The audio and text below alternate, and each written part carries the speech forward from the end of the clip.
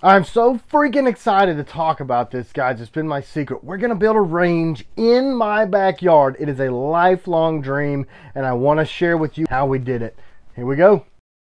All right, right now I'm just unpacking all the boxes and kind of trying to get a feel for the layout of where I want everything. And you'll see me, I keep raising the pistol up and stepping back to the 15 yard line to try to make sure that I'm not going to shoot wide or shoot over the top of the berm. So I'm doing a lot of moving around and adjusting because I don't want to, we got a little picnic area off to the right. I don't want to shoot off over there and shoot holes in my tiki torches. But I also want to make sure the targets are at the right height. And we're shooting downhill.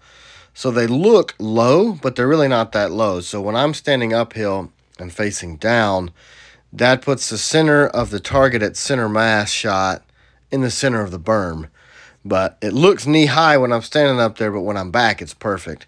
Well, this is a plate rack that I just gotten and the two steel uh, man-sized dog targets. And they were incredibly well priced on Amazon and they work great as you'll see later on in the video. And the target stands that I got, those are Highwild or Splatterburst targets. And you can move those sticks in. So you can do two 6 inch targets, one 12 inch, one 18 or 124. And they're great. So I put the Splatterburst up, make sure I've got everything centered. I keep kind of moving everything around. Adjusting the height here on that far left target. That's the uh, hostage target. Here it is, guys.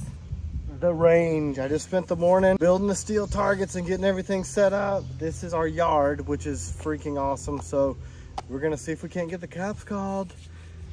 So that's it. It's never been fired upon. We're at the 15 yard line right here. I haven't sighted this uh, pistol in yet, so it might look like a retard, but here we go. But I need to adjust my sights for sure.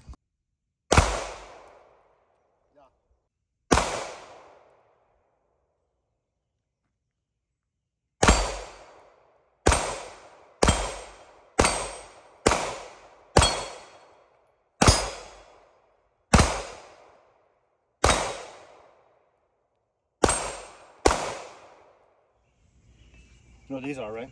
Mm. Good guy, bad guys. Hostage. So to keep from shooting this person, you shoot this dude in the heart. And if this guy is behind the good guy, you shoot him in the head. Not oh, really? Like, eh, that's what that's for. Good yeah. guy, bad guy. That's cool. Yeah. It looks like everything's fragging like it's supposed to. Hopefully the neighbors won't be too pissed. Hmm. So these are these are real AR500 3/8 thick targets and I got these on Amazon and I could not believe, and I verified that it was the actual manufacturer and they're very high quality. So that means I can have a range back here in the backyard and be at 15 yards and be safe with pistol caliber because it's thick AR steel. We got the dueling tree so that me and camera wife can shoot back and forth and I don't have to constantly reset stuff if I'm down here by myself.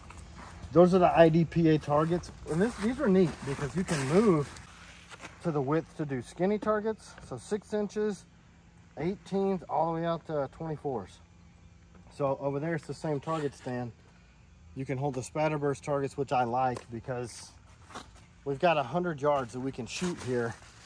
So you could fill all the way back up to the house. It's 100 yards, and I've got a little uh, quiet room there just outside the knife shop. But you know, this is it. We we make so many knives, we can't get to the range anymore. So we got a lot of work done at the house doing uh, septic systems and things. And one of the guys at things like, hey, we could clear your woods out. I'm like, could you put me in a shooting range? And he's like, hell yeah, man. And so he did. So here's day one.